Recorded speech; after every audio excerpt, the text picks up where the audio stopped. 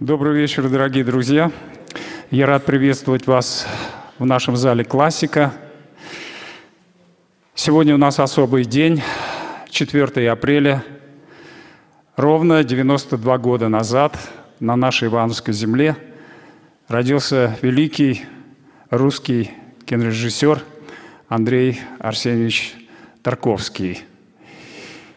И сегодня я с большой радостью хочу представить вам нашего дорогого гостя из Санкт-Петербурга. Писатель, культуролог, киновед, драматург, режиссер, член Союза писателей Санкт-Петербурга и Союза российских писателей, главный редактор книжного подразделения издательства «Выргород», основатель творческого объединения «Camel Studio», художественный руководитель международного кинофестиваля «Артедокс», лауреат всероссийских и международных литературных премий Лев Александрович Наумов. Пока вы занимаете место, я на одну минутку хочу задержать ваше внимание. И сейчас покажу вам фотографию, которая для меня, может быть, и для вас будет сюрпризом, потому что, я думаю, вы никогда ее не видели. Вот она на вашем экране. Можно свет немножко погасить? Да, спасибо. Эта фотография сделана именно в этот день, день рождения Андрея Арсеньевича Тарковского, 4 апреля 1985 года, Шведский киноинститут. Эту фотографию любезно предоставила нашему вниманию Лейла Александра Гаррет. Она работала переводчицей вместе с Тарковским во время создания последнего фильма Тарковского «Жертвоприношение». Она написала замечательную книгу «Андрей Тарковский. Собиратель снов». И эту книгу на этой сцене автор представлял у нас здесь в классике в 2010 году. И сейчас вот этой фотографии Лейла шлет нам привет из Лондона всем ивановцам и лично Льву Александровичу Наумову, что я и с удовольствием делаю. И теперь передаю этот микрофон нашему дорогому гостю. Пожалуйста. Спасибо большое. Если будете говорить с Лейлой, ей тоже от меня большой привет. В действительности она э, немало помогла мне в ходе работы над этой книгой. Э, вы знаете, нас, мне кажется, сегодня собрал здесь человек, который, ну, по крайней мере, для меня несколько расширил, в принципе, представление о возможностях человека как биологического вида, потому что а, то, что делал Тарковский, а, не вполне вписывается в вот те какие-то базовые представления о том, что могут люди делать вообще, и в частности, я думаю, что многие мероприятия, которые проходят на Ивановской земле из года в год, являются пусть косвенным, но все-таки а, тому подтверждением. Вы знаете, в 2018 году Оксфордский словарь английского языка, а вы представляете, что это такое, да, это э, книга, которая, в общем-то, ну, представляет собой, вот всякий раз отражает современное состояние вокабулярия, да, а, и этот словарь был расширен в очередной раз, это периодически происходит с Оксфордским словарем, он расширен был двумя словами, которые имеют самое непосредственное отношение к кинематографии, это слова Бергманиан и Тарков Тарковскиан. А, ну, как это перевести на русский язык? Ну, Тарковсковский, пожалуй, да, что что-то а, такого рода. А что значит Тарковсковский, да? Что, какой вид, какой план, какой кадр, какой сюжет мы можем назвать Тарковсковским, да? То есть, с одной стороны, это должно быть, наверное, что-то э, духовное, что-то, быть может, сновидческое, что-то немножко, как мне представляется, замутненное или, по крайней мере, нечеткое, но в то же время чистое и так далее. То есть мы можем э, подбирать массу эпитетов, массу имен прилагательных, ни одно из которых не заменит слово «тарковсковский» полноценно. И мне кажется, это одно из э, ну, достаточно существенных доказательств э, самобытности, значения, оригинальности, в каком-то смысле подлинности того, что делает человек, когда для того, чтобы описывать это, не хватает языка, да, когда для того, чтобы об этом говорить, появляется какое-то новое слово. Вы знаете, э, представлять книгу, а в действительности, безусловно, э, главная тема нашей сегодняшней встречи – это именно эта книга, хотя я привез вам и несколько других. Э, о них тоже, если захотите, поговорим. Но что касается моей книги «Итальянские маршруты» Андрея Тарковского, то представлять ее здесь, на Ивановской земле, для меня особая честь и радость, потому что само появление этой книги, безусловно, связано с с э, Ивановской землей. Я помню, как в 2013 далеком году я приехал на конференцию при кинофестивале «Зеркало», на которой сделал одноименный доклад «Итальянские маршруты» Андрея Тарковского. Это было, были такие скорбные 15-20 страничек с очень и очень приблизительными картами. Но в ходе работы над этим докладом я понял, что, в общем-то, это исследование, которое стоит довести до конца и сделать существенно более детальным, проработанным. И, конечно, я тогда не подозревал, что это выльется вот в такой вот фолиант и в 8 лет жизни. Безусловно, за эти 8 лет я благодарен и судьбе, и Андрею Арсеньевичу Тарковскому, э, ну и, естественно, вам, дорогие мои, потому что, в общем-то, это все, как я уже сказал, началось, началось здесь. Почему книга получилась такая большая? Все дело в том, что когда пишешь о Тарковском, э, буквально невозможно остановиться. А, он представляет собой, я это называю семантическая воронка, поясню, может быть, чуть-чуть позже, но важно, что когда ты начинаешь, начинаешь погружаться в этот его мир, становится понятно, что это человек, который представлял собой едва ли не режиссуру во плоти. Вот если представить себе гипотетическую какую-то вот такую вот высокую духовную энциклопедию, то, наверное, если там попытаться дать определение понятию режиссура, то там должна быть фотография Тарковского, потому что он э, все базовые принципы режиссуры в самой своей судьбой довел едва ли не э, до идеала.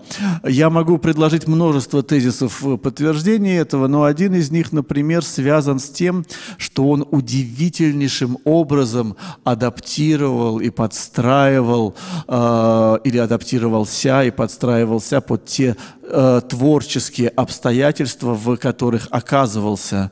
Все то, что, быть может, для случаев других режиссеров разрушало бы замыслы, мешало бы что-то создавать, э, в случае Тарковского шло на пользу. Давайте очень и очень бегло пробежимся по его биографии для того, чтобы э, проследить те моменты, о которых я говорю.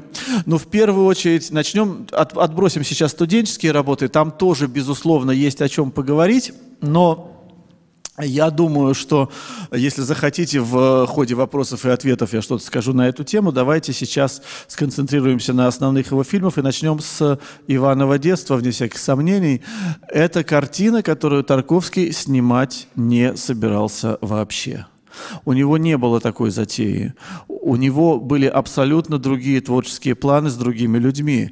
А, Иваново детство, на тот момент э, картина, которая называлась «Иван», он доделывал за другой съемочной группы в силу ряда ну, достаточной степени несимпатичных обстоятельств, которые сложились на киностудии «Мосфильм». Но, получая вот этот вот, в общем-то, априорно чужой проект – он делает его своим. Он перерабатывает его до такой степени, что, в общем-то, у нас нет абсолютно никакой, никаких даже сомнений в том, что это вот родной выстраданный фильм Тарковского. Более того, а, в этой картине он воплощает то, что по большому счету ложится в основу канона э, представления сюжетов, связанных с Великой Отечественной войной на экране. То есть это фильм канонический, по крайней мере, со с годами он таковым, безусловно, стал. А вы понимаете, что фильмы о Великой Отечественной войне, это в любом... О, о войне, в, в принципе, это едва ли не субжанр э, отечественной кинематографии. Я э, думаю, что так будет и дальше.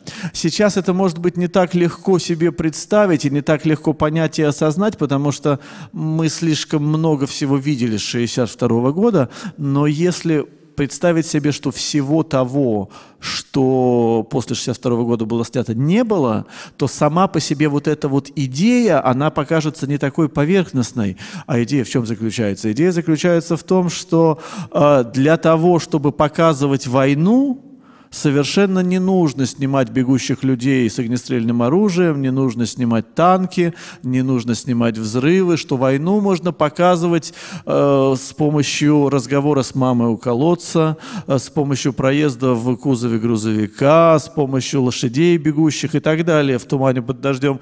А, то есть по большому счету, это, казалось бы, абсолютно не милитаристская образность. Так и война происходит в душе да, в душе каждого отдельного человека. И, по сути, Тарковский визуализирует душу, визуализирует внутренний мир. Мы об этом еще сегодня не раз э, поговорим и не раз об этом вспомним.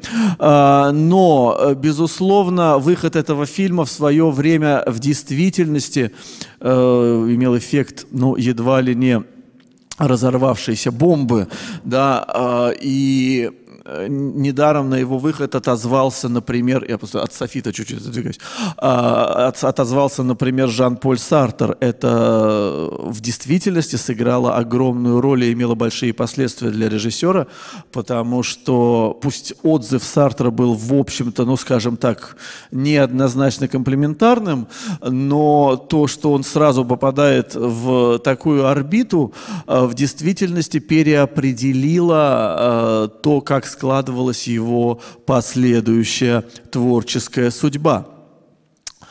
А, ну, не говоря уже о том, что именно эта картина принесла режиссеру «Золотого льва» на кинофестивале в Венеции, который становился существенным аргументом а, в массе споров и разговоров с разного рода советскими чиновниками. Я скажу, не будет большим преувеличением, если я скажу вам, что... Ну, я особенно не сомневаюсь, что если бы судьба э, Иванова детства не сложилась так, как она сложилась, то Андрей Рублев не вышел бы на экраны вообще, а, возможно, не был бы доснят. Но мы вспомнили про Андрея Рублева. А, и опять-таки говорим про вот эту адаптацию, про вот эту вот способность э, находить в обстоятельствах, которые складываются вокруг, все, что нужно для создания шедевра. В картине Андрей Рублев, которая многими почитается вершиной творчества Тарковского, он показывает, в общем-то, ну, в каком-то смысле образец того, как сюжеты, связанные с историей Древней Руси, э, отражаются на экране. И он поднимает с новой силой, с новой, ну, а возможно просто впервые настолько остро поднимает два очень важных, два принципиальных вопроса, связанных с искусством и с киноискусством вообще. Это вопросы об исторической достоверности с одной стороны и вопросы об этике с другой. Что касается исторической достоверности, после выхода на экраны картины Андрея Рублев а, начались э, споры и пересуды на тему того, что а какие же документы легли в основу, а почему, это же все не похоже на правду, все же в действительности было не так. То есть возник спор о том, а насколько искусство должно быть подстрочником летописи, насколько оно должно отражать историю. И здесь возникает... Понимаете, Тарковский с точки зрения темперамента был совсем не таким, как Сергей Михайлович Эйзенштейн, скажем, которому, когда Сергею Михайловичу сказали, что а почему это у вас такой вот Малюта Скуратов? Он абсолютно не похож на того, каким мы его знаем из исторических документов. Малюту Скуратов был другим. Ну, Сергей Михайлович, как человек в хорошем смысле наглый, он сказал, так значит, теперь будет два малют из Куратова. Один мой, а другой такой, какой вы знаете, из летописей. Но кино – это волшебная сфера, понимаете? Именно поэтому наши представления о малюте Скуратове, они эйзенштейновские, а не летописные. Да? Наши представления о том, как, собственно говоря, происходило а, Октябрьское восстание, они из фильма Эйзенштейна «Октябрь», а не из учебников истории. Мы представление себе себе не, не имеем вообще о том, как выглядел Александр Невский. Но на ордене Александра Невского изображен, по большому счету, артист Черкасов, который сыграл Александра Невского у Сергея Эйзенштейна. Это то, что может делать кино с реальностью и с историей. Это первая, первая часть того, что делает Тарковский уже на совершенно другом витке. Вторая, связанная с этикой, она еще более, может быть, интересная, потому что в действительности вот у всей всей мифологии, связанной с тем, как работал Тарковский, обычно пересказывают три истории, и одна из них связана с Андреем Рублевым и тем, что во время съемок сожгли корову и убили лошадь. Э, то есть вопрос, иначе говоря, формулируется о том, э, требует ли искусство жертв, если мы говорим вот в действительности о том, что погибают животные и так далее. Могут, тогда можно на некоторых фильмах, знаете, и люди погибали, скажу вам больше. Насколько это оправдано. По большому счету, э, на Андрея Рублеве, насколько я могу судить, никакая корова не сгорела. Лошадь действительно погибла, но лошадь взяли с мясокомбината, она бы погибла завтра и не была бы так сказать, обесмерчена в этой картине. Но больше всего в этой истории меня смущает другое. Больше всего меня смущает то, что не было никаких вопросов Сергею Федоровичу Бондарчуку, у которого в кадре в фильме «Война и мир» у лошадей отрывает копыта, и это, безусловно, без какого-то... Это, это не трюк, это, в общем-то, абсолютная реальность. И никого ничего не смущало в связи э, с этим фильмом. Лошадь нельзя попросить упасть от взрыва, понимаете? А, вот э, такие дела. Но это тоже только два тезиса вернуться к э, описанию того, что по большому счету делает Тарковский в Андрее Рублеве, самое главное, что он собирает образ Древней Руси, э, с помощью ну, такого ультрасовременного, ну и до сих пор, в общем-то, э, вида искусства. Как он это делает? Это фантастика. На самом деле для того, чтобы снять картину Андрей Рублев, Тарковский объездил без преувеличения, ну, я думаю, что если не все, то 85% э, крупных памятников деревянного и каменного зодчества, которые вообще есть в стране. То есть это все это Золотое кольцо, Серебряное ожерелье, Покрова на Нерли, Ферапонтово, Кирилл Белозерский монастырь, вот все, все, все, все, все, все, все. И самое интересное, что руководствуясь определенными критериями, я немного об этом пишу в книге «Итальянские маршруты» Андрея Тарковского, но на самом деле там еще не початый край работы. Именно вот, что касается конкретно направления, связанного с э, локациями, местами съемки Андрея Рублева, э, он почему-то отбраковывает одно, и выбирает другое. То есть я действительно очень часто иду вдоль тех или иных стен и думаю, почему Рязанский Кремль, а не Псковский, но при том, что в Псковщине он снимал все равно э, церковь, крепость Покровка. А крепость Покровка что собой представляет? Она на некотором удалении от Кремля Псковского, да, но это по большому счету полторы стены – там нет вот ничего целостного, да, то есть это вот такая, в форме буквы «Г» конструкция, э, которая, когда ты едешь на машине мимо, если ты не знаешь, что здесь крепость, ты даже не заметишь. Но он выбирает ее как натуру для того, чтобы там, снимать сцены набега. И у нас не возникает впечатление, что это неполноценный город сейчас. А как устроена среднестатистическая э, сцена в картине Андрей Рублев. Ну, смотрите, э, всадник, например, скачет вдоль некой стены. Монтажная склейка. Дальше всадник скачет вдоль там, леса с озером. В реальности этот лес с озером находится на расстоянии порядка тысячи километров от крепостной стены. Дальше монтажная склейка. Всадник прискакал к храму. Храм находится еще в 600 километрах от леса с озером. И мы совершенно не замечаем этих швов. Он буквально э, собирает Древнюю Русь как лоскутное одеяло да, из отдельных корпускулов образности. И на самом деле он ведь создает именно то, какой мы себе ее представляем сейчас. Да? Ни один в отдельности из этих памятников не создает такого полноценного и колоритного впечатления, как вот весь вот этот ансамбль, который он собирает строго определенным, абсолютно эстетически не противоречивым образом. То есть в данном случае его адаптация, она вообще достигает едва ли не государственных масштабов. Дальше два фильма, которые идут не подряд в его фильмографии, это «Солярис» и «Сталкер». Что объединяет эти фильмы? Их объединяет, безусловно, жанр. Одно мгновение, я открою бутылку, с вашего позволения.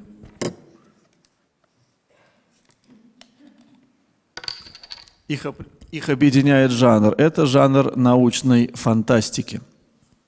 А, научная фантастика вообще становилась прибежищем для авторов в самых разных видах искусства. Если речь идет о временах, но таких в достаточной степени напряженных и непростых с точки зрения э, цензуры, степени свободы и так далее. На фантастическом материале, на научно-фантастическом материале очень просто было находить возможность говорить о злободневном, э, сводя свои риски к минимуму. Поэтому э, он на такой степени был популярен в середине 20 века. И на самом деле то, что мы видим сейчас, это отголоски той популярности. В чем штука? Научная фантастика – жанр очень жесткий, с довольно строгими, весьма предопределенными правилами, с очень четкими рельсами, если угодно, с детерминированными ожиданиями публики, а, потому что сама аудитория научной фантастики – это такой строго-строго а, выписанный контингент, если угодно. Тарковский, по большому счету, жанр, ну, в хорошем смысле уродует, он делает из него то, что нужно ему. Если бы мы, например, вообще не знали о том, что вот есть роман Лема Солярис и есть роман братьев Стругацких «Пикник на обочине», я думаю, что в принципе э, безотносительно первоисточников возникли бы вопросы, можно ли называть научными, научно-фантастическими эти два произведения, потому что он очень много от многого избавляется. Он полностью деформирует сюжеты так, как нужно ему, для того, чтобы говорить о том, о чем нужно ему. То есть вот это вот пример очень такой суровой адаптации. Когда Лем увидел «Солярис», он сказал, слушайте, ну это не мой роман, это какая-то Достоевщина. И что самое занятное, он был абсолютно прав. Это именно не его роман, а какая-то Достоевщина. Достоевский – это автор, о котором Тарковский грезил, быть может, больше, чем о многих других. Это касается и экранизации, и фильмов о нем, и даже аналитической картины о нем. То есть замыслов, связанных с Достоевским, у Тарковского, ну, едва ли не десяток был. И ни один из них так и не был воплощен, хотя, признаться, посмотреть очень и очень интересно.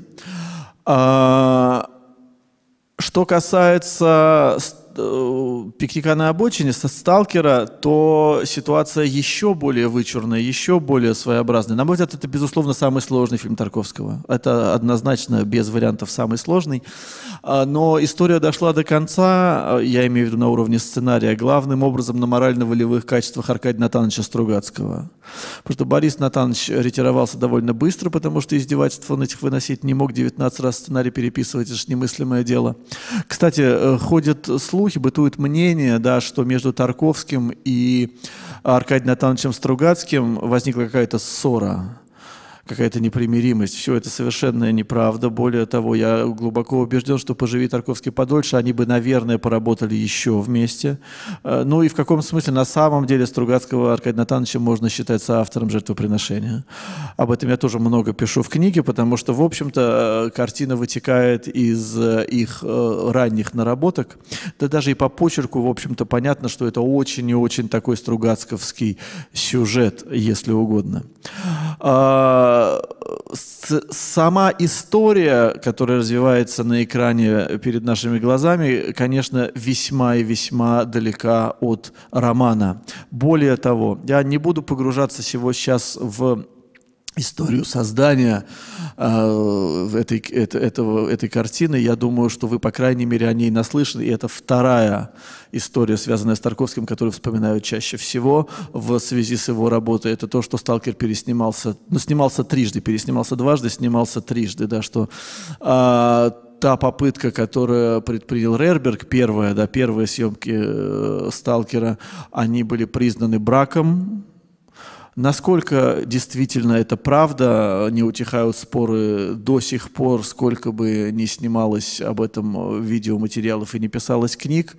То есть был ли это реальный брак? Я тоже об этом довольно много пишу. То есть был ли это действительно брак?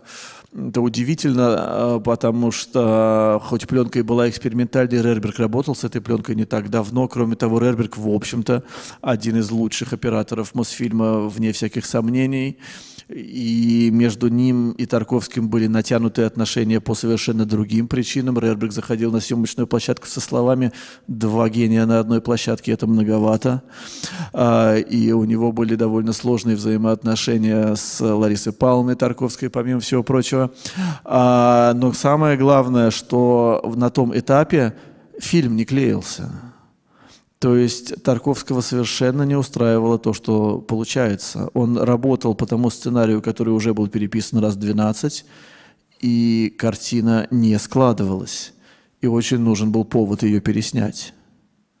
Можно посмотреть на эту ситуацию так. Я сейчас не хочу ни строить конспирологических теорий, ни что-то такое вам предлагать. Важно не это. Я напомню, я говорю вам про адаптацию. Понимаете? После первой съемки была вторая, которая далеко не пошла. Сценарий снова переписался 5-6 раз. И вот потом была третья с, с начинающим оператором. То есть не, не с мастеровитым Рербергом, а вообще с оператором, который вот делал первые-первые шаги. И его потом Тарковский называет в числе своих самых любимых. Это Княжинский, да? А вторым был Калашников. А, значит, что происходит? Что происходит? Э, понимаете, «Сталкер» – самая сложная картина.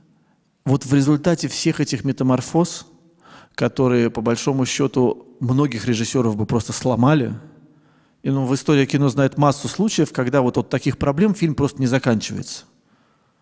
Да, это происходило в самых, на самых разных континентах у режиссеров более и менее мастеровитых, потому что ну, это, это коллапс проекта.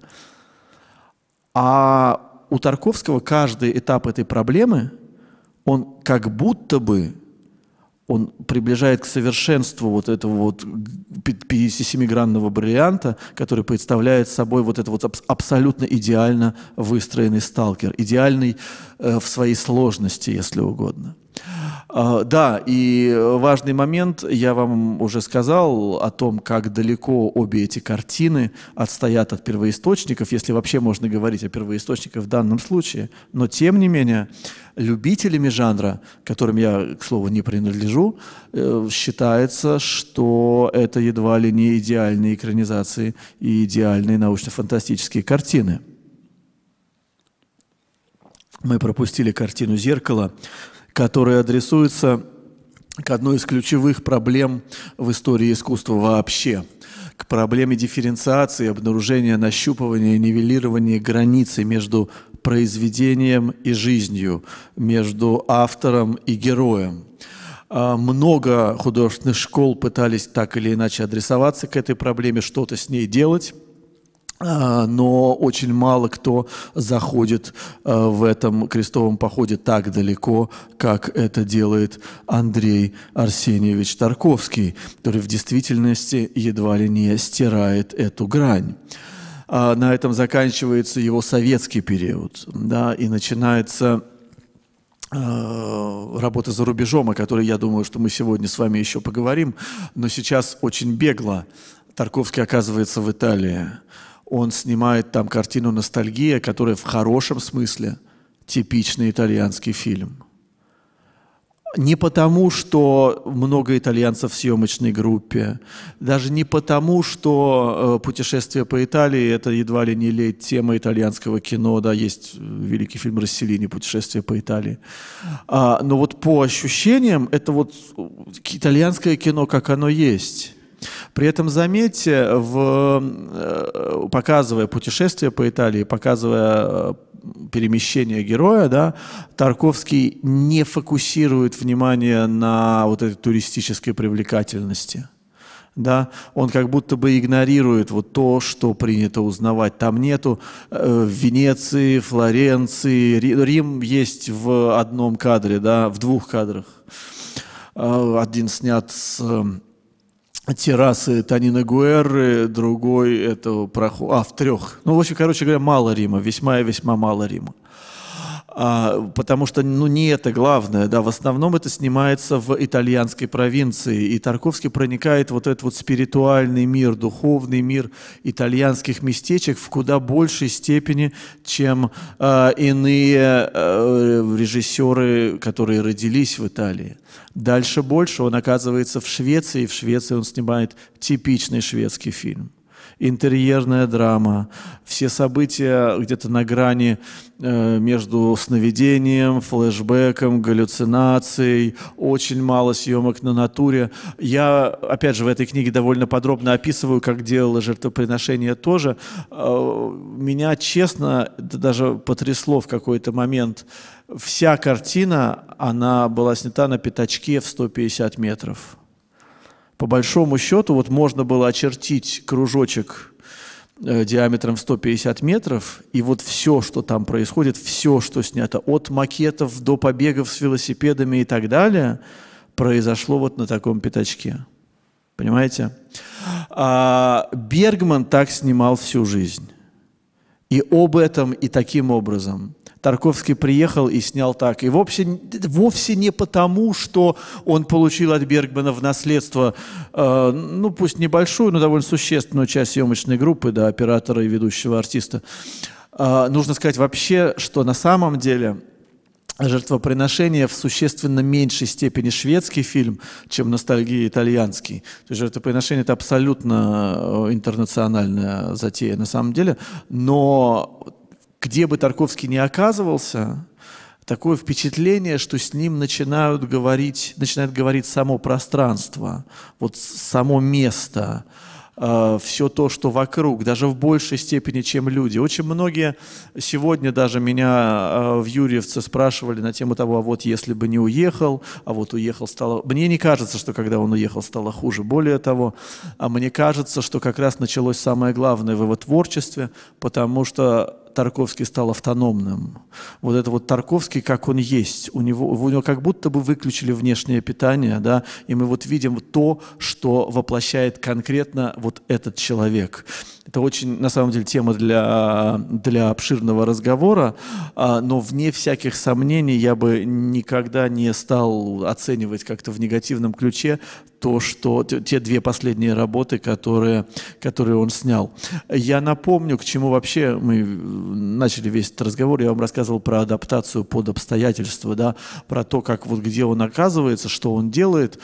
Все как будто бы он э, направляет в, на благо того произведения, которое создается даже огромные неприятности, даже беды. Третья история, которую обычно вспоминают э, в связи с мифологией творчества Тарковского, это, конечно, история с домом, который сгорел во время съемок жертвоприношения. Э, Лейла об этом довольно подробно пишет. Да, камера не включилась, когда э, с, э, снимали пожар дома дом новый отстроить, казалось, не было никакой возможности. Финала фильма нет потому что эта декорация в достаточной степени массивная, и ее как будто бы неоткуда было взять. Но Тарковский даже из этой ситуации загадочным образом выкручивается так, что, честно говоря, пока я об этом обо всем не узнал, я даже не обращал внимания. А в каком-то смысле это приобретает и дополнительное метафорическое значение, потому что если приглядеться, становится понятно, что дом в конце не такой, как в начале уже построили, просто вот такой вот... Там тоже, понимаете, это, это метод скандинавской съемки, помимо всего прочего. А, если вам нужно снимать дом изнутри и снаружи, в Скандинавии часто делают так, что строят дом и реально снимают изнутри и снаружи. Да? В, в Америке, например, как бы, декорация отдельная, это может быть макет даже, он может быть уменьшенным, а интерьер снимается в павильоне да, а там действительно был дом, в котором внутри снимались сцены в интерьере с телевизором и вся вот эта вот э, история, да, а снаружи снимались все, все то, что происходило со столиками снаружи, э, прогулки с э, мальчиком и, и тому подобное, да, и вот этот дом сгорел. И э, в конечном итоге японцы выделили какое-то количество денег, японцы, я подчеркиваю, то есть действительно это жертвоприношение само по себе это затея чрезвычайно интернациональная.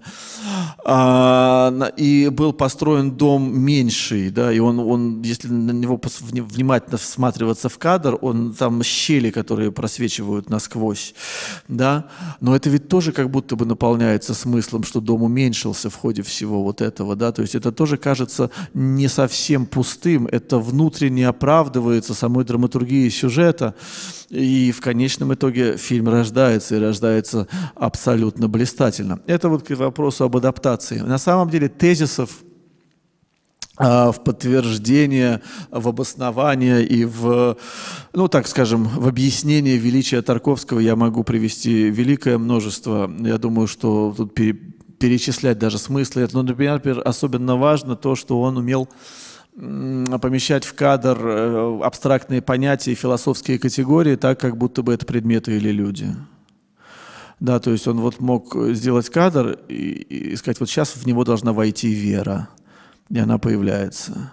Он умел визуализировать нематериальное, да, или вот эта совершенно фантастическая творческая динамика, которая, например, характеризуется тем, что едва ли не всякое произведение вполне могло претендовать на э, звание духовного завещания.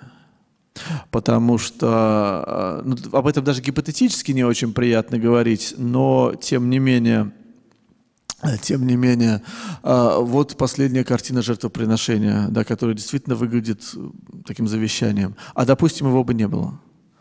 Была бы последняя картина «Ностальгия», но вполне она могла бы сыграть эту роль, исходя из того посыла, с которым он нас оставляет, режиссер. А если бы ностальгии не было – тогда сталкер, ну тем более. А если бы сталкера не было, тогда зеркало, тем более и так далее, понимаете?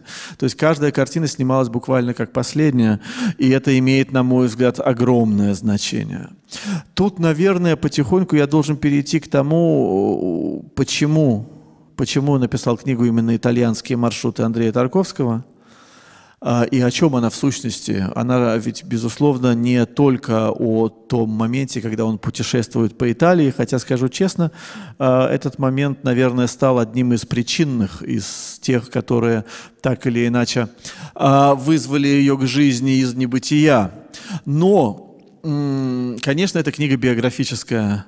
С ней действительно не так, легко определиться в смысле жанра, а, но, в общем-то, считать, не считать ее биографической было бы странно. И в ней нашли отражение ну, практически все периоды жизни, все картины э, с меньшей или с большей степенью подробности, самые разные бытийные обстоятельства, включая детство и раннее детство, студенческие годы и так далее. Просто она выстроена не вокруг оси времени. Да, у нее немножко другой принцип, который сформировал текст таким образом. Она выстроена больше э, исходя из несколько иных, несколько иных соображений. Почему же такое значение имеет Италия, как мне кажется, в том числе и в жизни Тарковского? А, ну, мы уже с вами э, вспоминали о том, что Иваново детство, в общем-то, основной успех, действительно успех, который формирующее значение для Тарковского имел, потому что впоследствии он ну, был изрядно инспирирован а, тем, что ему удалось Э, достигнуть вот такой высоты первой же картиной, э, уже связал его с Италией. Но это, естественно, не единственное. Вы понимаете, все то, что делает Тарковский, на мой взгляд, можно называть кино эпохи Возрождения. То есть кинематограф такой, каким он мог бы быть, если бы в соответствующие э, века, во времена Кватрачента, технические возможности позволяли бы ему существовать. Сам Тарковский неоднократно говорил, что э, свою задачу он видит в том, чтобы поставить кинематографию на, тот, на один уровень с более традиционными видами искусства, да, с литературой, с музыкой, музыкой, с живописью, с театром и так далее. И когда мы смотрим а, смотрим картину Тарковского, нам кажется, что именно это и удалось, да, что э, от века существует некая муза кинематографии, которая пляшет со своими старшими сестрами вокруг Кастальского источника и с Аполлоном, а древние греки об этом не упомянули только по невнимательности и забывчивости. Э, то есть, казалось бы, перед Тарковским в определенный момент жизни был открыт весь мир – Он мог э, поехать работать куда угодно, но он остается именно в Италии. Случайность, да, здесь есть очень большой момент случайности. Но в чем он заключается? Ну, например, в том, что э, едва ли не ключевую роль э, в э, организации этой поездки играет такой человек, как Танина Гуэра. Я думаю, не надо объяснять, кто это такой. Да, это, в общем-то, один из ключевых, на мой взгляд, вообще сценаристов в истории кино. Он сотрудничал с 96 э, режиссерами, и по большому счету это сотрудничество продолжается до, до сих пор, потому что у Гуэра осталось множество сценариев, которые ставятся и по сей день. А, но важно следующее. Важно то, что познакомились они, ну, едва ли не случайно. У Тарковского всегда были проблемы с жильем. И вот в киностудия Мосфильм распределяет жилье э, в районе первой Мосфильмовской улицы, точнее, не в районе, а на первой Мосфильмовской улице. Тарковский получает квартиру, у него временно есть некое такое послабление э, в его бытовых мыторствах. А, и неподалеку получает квартиру директор картин Яблочкин, у которого жена Лора, Лора Яблочкина, на тот момент у которой случается роман впоследствии с Таниной Гуэррой, и Гуэрра появляется неподалеку. То есть они, по сути, становятся соседями. Ну, не, не по лестничной клетке, но, по крайней мере, в одном квартале обитающими. Случайность ну, вроде случайность. Но с другой стороны, если подумать о том, э, какие картины, какие фильмы и какие работы повлияли на Тарковского сильнее всего, э, то в первую очередь на самом деле приходит на ум картины, которую Тарковский не так часто вспоминает. А между тем это, пожалуй, самое влиятельное произведение киноискусства 20 века. Это фильм Микеланджело Антониони «Приключения», сценарий для которого, равный как и для всех фильмов Антониони э, того периода уж точно, написал именно Тонино Гуэрра. То есть, казалось бы, ну, они неизбежно должны были познакомиться. Так или иначе, Тарковский, в принципе, не очень любил рассказывать о том, что на него повлиял непосредственно, да, он очень любил рассказывать, что вот на него повлиял Брессон, хотя между ним и Брессоном бесконечность. Ну, потому что это влияние довольно опосредованное. А вот то, что он цитирует прямо, он редко называет сам. Есть у меня на YouTube-канале несколько видеороликов, которые, в общем-то, показывают, как это в действительности происходит. А, понимаете, от века э, была такая практика, да, что э, писателей, художников, э, э, скульпторов, архитекторов из самых-самых разных стран отправляли с целью повышения квалификации такого своеобразного именно в Италию, не куда-нибудь. Почему? Это нетрудно объяснить, но сейчас не будем на это тратить время. Но мы знаем массу прецедентов из более традиционных искусств. А в случае кино примеров таких не так много. И, наверное, пример с Тарковским один из самых ярких. И это меня чрезвычайно заинтересовало. Ведь действительно, даже у нас в Петербурге в Академии художеств императорской была стипендия для э, художников э, на поездку в один из трех городов – Рим, Флоренция, Венеция – да, а, но если вспоминать э, классиков литературы, то Гоголю совершенно не нужна была стипендия, он из Рима не вылезал и писал, что если ты, тебе плохо, если тебе не пишется, нужно поехать в Рим. И известна вот та таверна в предместьях, где написана сцена мертвых душ, душ э, у коробочки там и так далее, и не только. В общем, вся, э, все мертвые души так или иначе связаны с Италией. Прогуливаясь по садам Бабали в во Флоренции Достоевский пишет «Идиота», известна его квартира и так далее. И главное, что самое занятное, что квартира Тарковского, вот э, одна из поздних, скажем так, в которых он почти не успел пожить, во Флоренции, она находится очень недалеко от квартиры Достоевского. Такое впечатление, что э, не получилось воплотить замысел, связанный с Федором Михайловичем, но они стали в каком-то смысле соседями э, по прошествии многих лет. А, Бродский не вылезал из Венеции. Почему это все так? В общем-то, это интуитивно понятно. А, Италия – это то место, которое показывает, доказывает самим фактом своего существования, что может быть что-то практически вечное, что во всем этом есть какой-то смысл, что могут быть образы, которые пронзают поколения. Да? И то, что Тарковский – это едва ли не единственный пример, это делает вот сам этот исторический прецедент совершенно уникальным. Я больше скажу. В определенный момент, я не знаю, насколько подробно мы сегодня будем разговаривать о, об обстоятельствах, которые так или иначе привели Тарковского в Италию, но если вы захотите, вы э, прочитаете это в книге. В, как, в определенный момент, когда Тарковский уже э, приехал, Танина Гуэра разрабатывает маршрут для того, чтобы показать свои самые любимые места в своей самой любимой стране русскому другу и инспирировать его определенным образом, э, вдохновить и в результате запечатлеть это в фильме. Более того, Танина Гуэрра делает это не один. Э, ему помогают Федерико Феллини, Микеланджело Антониони и вот такая вот компания людей. Вы представляете себе, вот э, какое культурное значение имеет хотя бы уже один этот маршрут? Этот маршрут, он приведен в книге, но вообще книга изобилует картами. Э, если будет время, я чуть-чуть позже расскажу вам почему.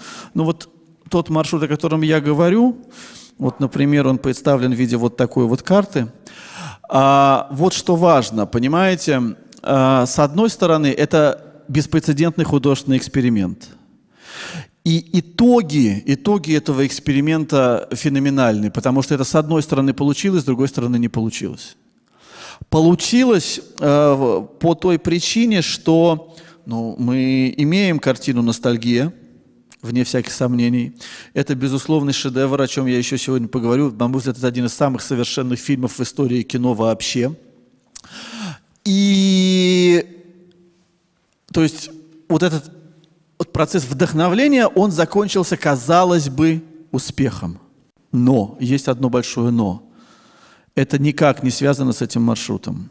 Все то, что Гуэрра показывал, все то, что Гуэрра, Филини и Антониони отобрали – не впечатлило Тарковского. Вы можете видеть эти фрагменты определенные в, сцене, в, в отдельных сценах фильма «Время путешествия», да, который, документальная лента, которая посвящена а, работе над ностальгией, которых Тарковский говорит, Танина, мы не будем здесь снимать, здесь слишком красиво, слишком красиво. Вот эта вот формулировка «слишком красиво» — это ну, одна из коронных формулировок Тарковского, когда он очень не хотел объяснять вот, хотел как-то э, показать свое отношение, но объяснять не хотел. Очень похожая ситуация э, сложилась на жертвоприношении. А когда Эрланд Юзефсон что-то играл, Потом подходил к нему и спрашивал, как, Андрей, ну как? Он говорит, Эрланд слишком гениально, слишком гениально. Да? То есть вот тоже не подходит, не подходит. Вот это не, не пойдет в конечный, в конечный монтаж.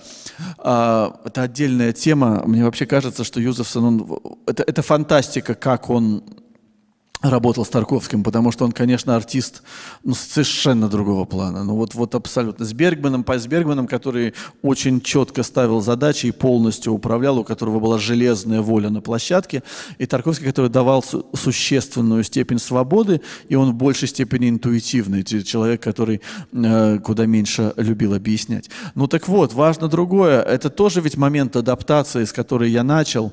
Да, Тарковский находит в Италии те места, которые ему нужны он не берет то, что отобрал для него Гуэрра, Сфелини и Антониони. Это ему оказалось неподходящим. Ну вот кроме Бани и Виньони.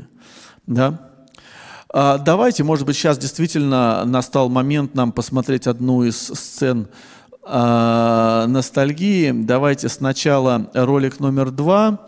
Это а, место, где снималась э, сцена с Мадонной Дель Парто. Это э, крипта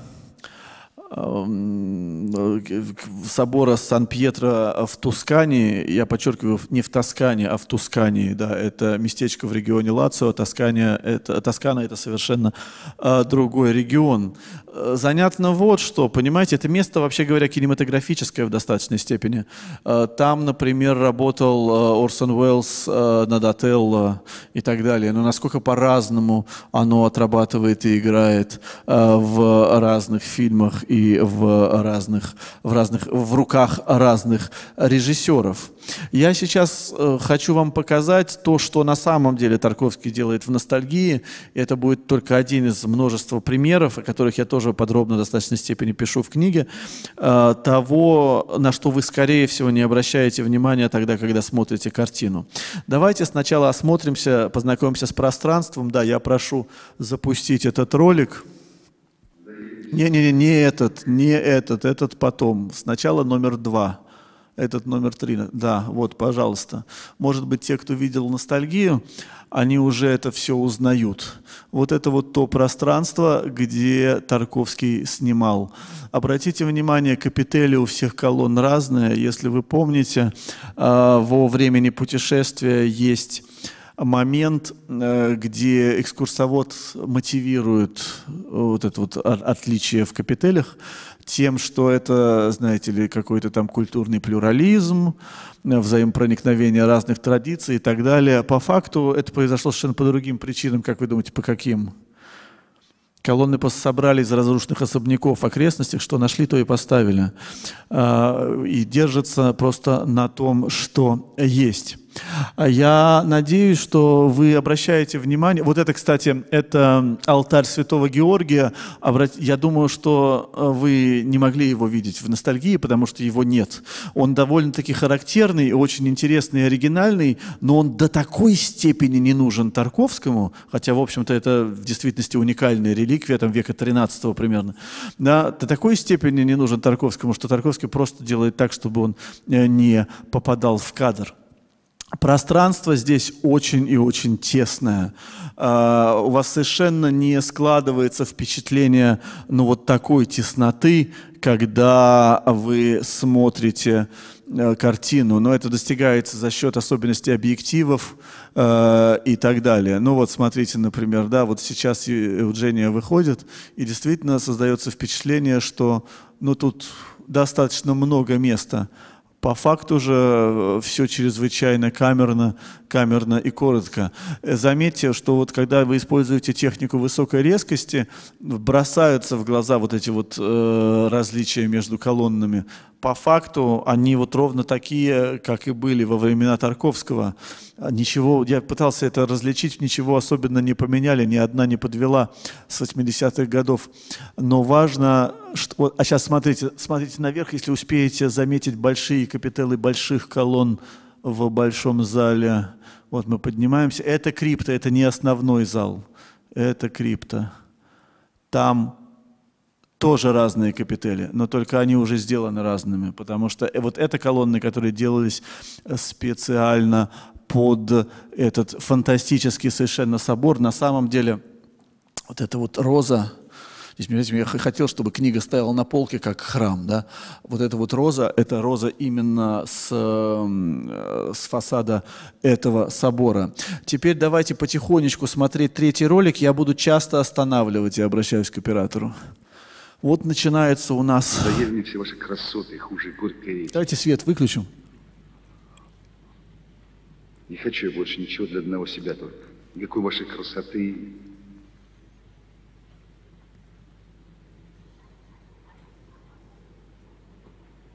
Не могу больше. Хватит.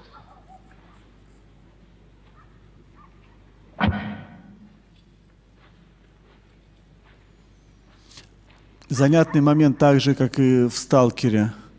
Героя привозят женщина на машине, причем женщина отвергнутая. Да, но это мы сегодня не, не эта тема нашего разговора, но тем не менее вот какие-то вот такие инвариантные сквозные образы нельзя, нельзя не отметить. Вот схема, э, схема той крипты, в которой мы с вами только что были. Она действительно очень и очень небольшая. Вы можете видеть ее размеры, направление на север, то есть э, всего ничего. Как бы предполагается, что фреска, она внутри вот этой вот, вот этой эркера такого, да, своего рода. Евгения одна. Вот где она передвигается неторопливо и в достаточной степени. Но мне кажется, что это робость, связанная с тем, что она не вполне знает, что здесь правильно делать. Мы это поймем из ее диалогов. Да, вот женщины сидят вот там вот э, внутри Эркера сейчас. И обратите внимание, куда Евгения смотрит. Она смотрит налево. Нажмите на, на паузу, нажмите. Значит, смотрите, она смотрит налево, как будто бы фреска там. Но при этом фреска будет сниматься а, именно внутри эркера. Согласитесь, вы на это особо внимания не обращаете. Исходя из траектории ее движения, совершенно э, определенно можно сказать, что Андрей Арсеньевич просто, ну, едва ли не размечал ее путь ориентируясь на центры расстояний между колоннами. Вот прямоугольник внизу – это тот самый алтарь, который в кадр не попадает совсем. И вот у нас героиня остановилась э, в точке 1, глядя э, ну, это у нас получается на запад, да, в, в терминологии географической. Давайте И дальше. вы тоже хотите ребенка? Стоп. Или собираетесь вымолить его? Стоп, стоп, стоп. Да, она скачком перемещается в точку 2, как будто бы и смотрит на восток. Да? То есть, грубо говоря, направление на запад у нас для того, чтобы ну, в каком-то смысле, ну, скажем, пока что созерцать образ э, божественной природы. Направление на восток у нас для того, чтобы говорить с человеком то, что она уже в другой точке. А почему она в другой точке? Потому что она вот в начале этой речи, да, она смотрела на север – да, то есть как будто бы фреска все-таки перед ней, там, где сейчас написана фреска, хотя по факту до того смотрела в другую сторону. Давайте Я дальше. пришла просто посмотреть. К сожалению, когда сюда приходят ради развлечения, без мольбы, тогда ничего не происходит.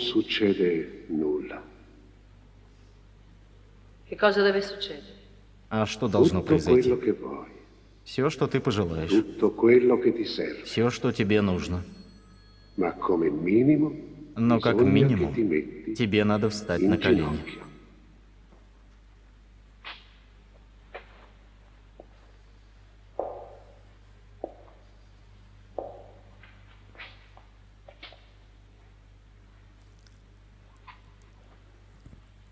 Но ну, вот лучшее подтверждение того, что все-таки она сейчас считает, что фреска перед ней, потому что она пытается встать на колени, смотря именно на север, да? У меня не получается. Посмотри, как они это делают. Они привыкли. У них есть вера. Да, может быть. Входит процессия, то же самое пространство осваивается, как будто бы персонажей нет совсем, да? Вот э, какова их траектория, они проходят по тому же среднему ряду. В действительности тут две пары носилок, на что тоже особенно внимания не обращается.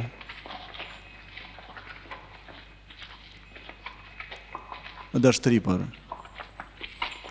Проносятся носилки до квадрата 1.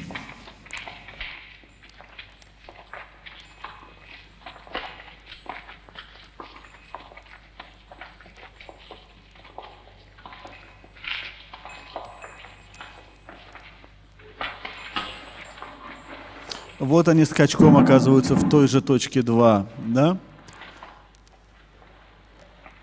И нету еще двух носилок совершенно. Да, вы, то есть, но на это несоответствие мы, которое всего 23 секунды назад мы видели, внимание абсолютно не заостряется. И теперь смотрите. Стоп. Понимаете, что делает Тарковский? Физически они абсолютно в одной точке пространства. Да? То есть это та точка, в которой не происходит вот этого вот слияния двух героинь. Одна женщина встает на колени с успехом, другая женщина не может встать на колени. По большому счету, едва ли не ключевое событие э, фильма «Ностальгия» связано вот с этим ощущением единства между двумя мужчинами. Между двумя женщинами единство здесь не происходит. И намеком на это единство, в общем-то, на попытку и вот на его, ну скажем, несостоятельность является то, что на уровне монтажа Тарковский совмещает точку буквально. То есть они как будто бы вот именно сталкиваются друг с другом, но все равно расходятся по разным траекториям потом. Давайте дальше. Она уже даже не пробует, она продолжает свой э, диалог и уходит из этой точки. Я хотела бы спросить у вас, извините, да. Как по-вашему? Почему только женщины так часто молятся? И ты это спрашиваешь у меня? Но вы же видели здесь много женщин. Я всего лишь паномарь и не знаю этого. Но вы, наверное, и задумывались иногда, от чего женщины набожнее мужчин. Ты должна это знать лучше меня. Потому что я женщина. А вот я этого никогда не понимала. Я человек простой. Но, по-моему, Женщина нужна для того, чтобы рожать детей. Растить их. С терпением и самоотречением. И больше, по-вашему, она ни на что не годится? Не знаю. Понятно. Спасибо. Вы мне очень помогли. Но ты же спросила меня о том, что я думаю. Я знаю. Ты верно хочешь быть счастливой. Но в жизни есть и нечто более важное. Евгения уходит из церкви, да, потому что она понимает, что это не то место, где она получит ответы на свои вопросы. Она останавливается в точке 3. И смотрит уже в непонятном направлении в достаточной степени, да? Но вот она вот что было бы, если бы она встала на колени? О, Матерь блаженная, Матерь страстотерпица, О, Матерь ликующая, всеблагая, преблагословенная, пречистая, богоблаженная, терпеливая, всепрощающая, Мать, знающая боль всех матерей, Мать, знающая радость всех матерей, Мать всех дочерей, знающая радость всех матерей, Мать всех дочерей, знающая боль всех матерей, О, Мать-заступница, Помоги своей дочери стать матерью.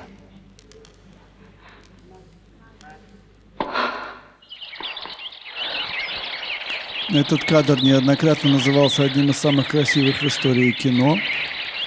А теперь обратите внимание, 5 минут 38 секунд назад, стоп, у нас был точно такой же кадр. Да, это к, люб... к излюбленному э, Тарковск... трюку Тарковского, да, о том, что, возможно, всего этого и не было. Да, возможно, все это просто игра воображения и игра сознания, потому что, ну, в общем-то, э, это в достаточной степени такая эпизодическая ветвь, ответвление от развития э, основного сюжета. Давайте дальше. Но Эуджения мелькнула снова в точке 2, что важно. И понятно, что слияние не произошло. Понятно, что эти свечи рифмуются с той единственной свечой, которую он принесет до конца.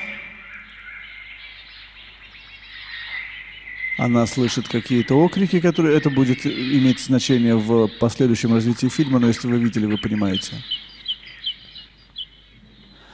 А вот это уже не репродукция, это уже настоящая, настоящая Мадонна Дель Парто, которая э, снималась во время работы над э, «Временем путешествия» где Тарковский точно так же, как Горчаков, отказывался войти в церковь и посмотреть на образ, который, собственно говоря, и поманил его в эту поездку, поскольку, да, можно свет включать, спасибо, поманил его в эту поездку, потому что он был большим поклонником Делла Франчески еще до того.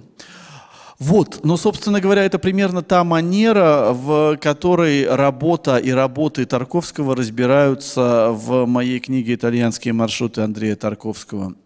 А, тут важно вот что. Вообще само слово «маршруты», которое вынесено в название, не стоит трактовать сугубо а, в географическом аспекте. То есть, вы знаете, а, есть такой дивный совершенно писатель Питер Акрейт. Он пишет и художественную, и нехудожественную литературу, и в частности он биограф очень многих британских и американских деятелей, там Чаплин, Черчилль, ну, в частности, одна из самых его известных книг посвящена Шекспиру. И в главе, которая э, связана с э, Макбетом, он пишет, что когда-нибудь должен обязательно появиться исследователь, который э, изучит связь Шекспира с ландшафтом и ландшафта с Шекспиром. Вот это вот именно то, что мне в частности хотелось проделать для случая Тарковского э, на страницах настоящей книги. Но только этим вся история не исчерпывается. То есть маршруты в данном случае это не только география. Маршрут это и безусловно маршрут по людям. То есть это та социальная сеть, которая для Тарковского имела огромное значение, потому что он в целом был человеком, ну, скажем, очень сильно зависимым от общения. А, и его очень легко было переубедить почти в чем угодно, что не имело отношения к творчеству. А, то есть в бытовых вопросах переубеждению он поддавался очень легко. Это маршрут по тем книгам, которые он читал, это маршрут по тем фильмам, которые он смотрел. И это очень важно, особенно важно для меня, потому что мне кажется, что удалось существенно расширить вот это вот множество того, что повлияло на него непосредственно, потому что, ну, когда ты знаешь, какие именно картины он посмотрел на том или ином кинофестивале и над чем работал в этот момент, в действительности выступают э, на поверхность совершенно неожиданные, незаурядные э, закономерности и проявления. Это маршрут по идеям Тарковского. Вот что важно. Мне было очень важно поставить вас, как читатели, э, в ситуацию, когда у вас окажется в голове примерно то же самое, что было у Тарковского в тот или иной момент, и станет понятно, каким образом, какой путь совершала его мысль, мысль для того, чтобы из фразы, которую он слышал от экскурсовода в некой точке X, э, родился тот образ, который он придумал, переместившись в точку Y, а потом снял в точку Z. Вот эти именно маршруты мы и рассматриваем. В целом, вот понимаете, как бы это объяснить? Мне часто э, э, говорят, что я пишу очень разные книги ну просто как будто бы их ничего не связывает. Вот книга о Тарковском, вот книга о моей эссеистике о кино, всего того, что я написал до 2020 года про самые разные фильмы, интервью с кинематографистами, но, казалось бы, это вещи немножко связаны. Вот роман «Пловец снов», который я дописывал в, за рабочим столом Ингмара Бергмана, это отдельная история, если захотите, потом расскажу. Это художественный текст. У меня есть книги об Ашлачеве, у меня есть э, пьесы, у меня есть рассказы. Что же это все объединяет?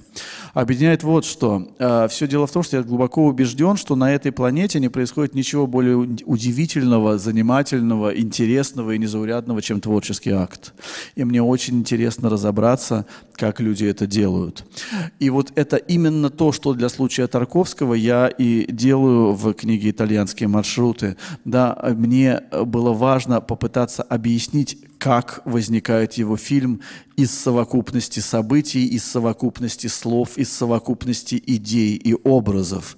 Да? А, и если сопоставлять, а он, помните, он говорил, он собирался назвать свою книгу, методологическую книгу сопоставлений, в результате назвал ее «Запечатленное время», а во многом книга сопоставления – это именно вот эта книга, которая а, сопоставляет а, самого разного рода сведения с одной лишь целью – попытаться помочь понять, что в действительности подтолкнуло к рождению того или иного образа в той или иной картине. Вот та тщательность, с которой он работал вот тот ход мысли, его скорость, если угодно, во многом объясняет то, почему, собственно, Бергман снимал по три фильма в два года, а Тарковский по одному в четыре.